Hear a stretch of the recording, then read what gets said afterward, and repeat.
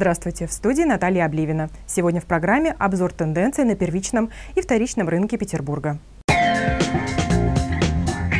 По данным консалтингового центра «Петербургская недвижимость», с января по март 2014 года на первичном рынке Петербурга и пригородной черты Ленобласти реализовано 1 миллион 300 тысяч квадратных метров жилья. Это на 14% больше, чем в четвертом квартале предыдущего года. Таким образом, объем спроса показал значительный прирост числа сделок. Основной прирост спроса пришелся на объекты класса масс-маркет. Это недорогие, малогабаритные квартиры в обжитых районах Петербурга и пригородных территориях Ленинградской области.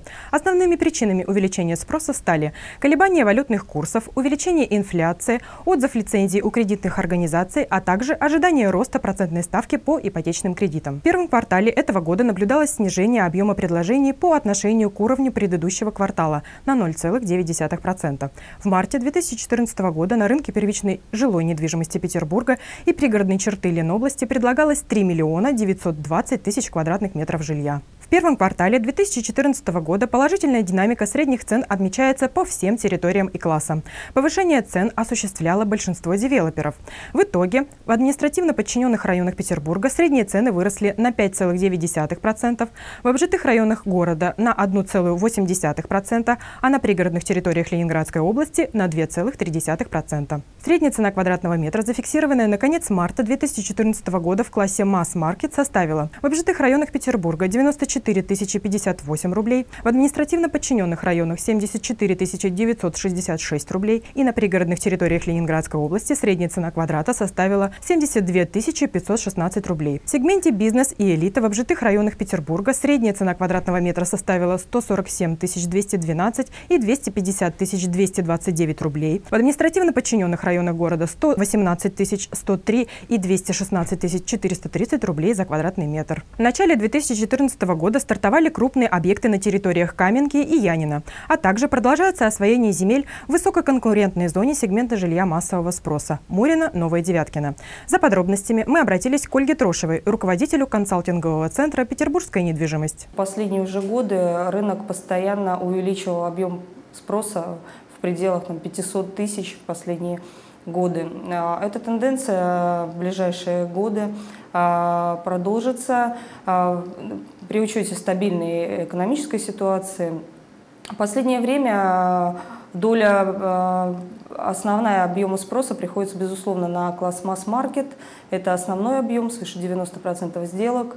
Лидирующими районами по спросу на сегодняшний день являются такие районы города, как Выборгский, Московский, Красносельский, Невский район, Приморский район. Активно развивается пригородная зона.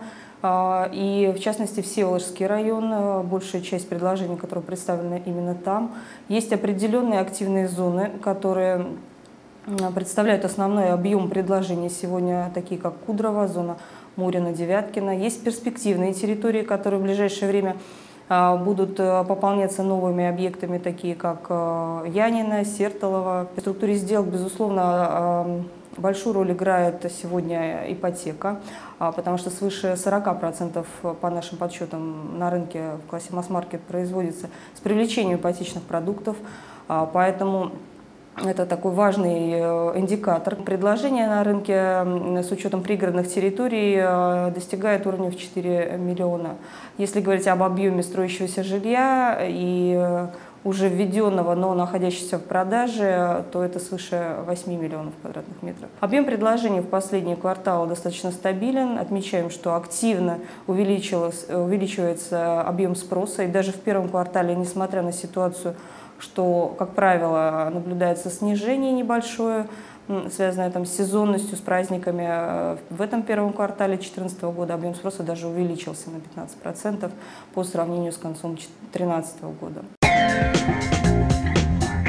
Продолжает наш выпуск обзор цен на рынке готового жилья. По данным Центра исследований и аналитики группы компаний «Бюллетень недвижимости». За прошедшую неделю стоимость жилья на вторичном рынке Петербурга понизилась. Средняя цена предложения составила 100 тысяч 100 рублей за квадратный метр. Доля объектов, цена которых меньше 70 тысяч рублей за квадратный метр, составляет 3,5% от общего объема предложения квартир. Большую долю рынка, 73%, занимают объекты, цена за квадратный метр которых от 70 до 110 тысяч рублей. 9,5% приходится на объекты стоимостью стоимостью от 110 до 120 тысяч рублей за квадратный метр. И доля дорогих объектов, цена которых больше 120 тысяч рублей за квадрат, составляет ровно 14%. Самыми дорогими на вторичном рынке остаются однокомнатные квартиры в домах старого фонда с капитальным ремонтом. Здесь стоимость квадрата составила 120 600 рублей, а без капитального ремонта 113 300 рублей. Самыми дешевыми вариантами остаются трехкомнатные квартиры в старой панели. Средняя цена предложения на этой неделе составила 81 200 рублей за квадратный метр. Самое дорогое жилье на вторичном рынке Петербурга предлагается в центральном районе. Цена квадратного метра здесь составляет 113 600 рублей.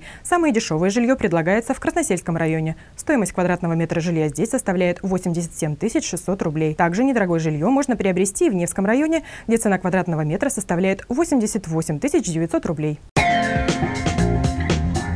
Это был обзор тенденций на рынке жилья Петербурга за минувшую неделю. С вами была Наталья Обливина.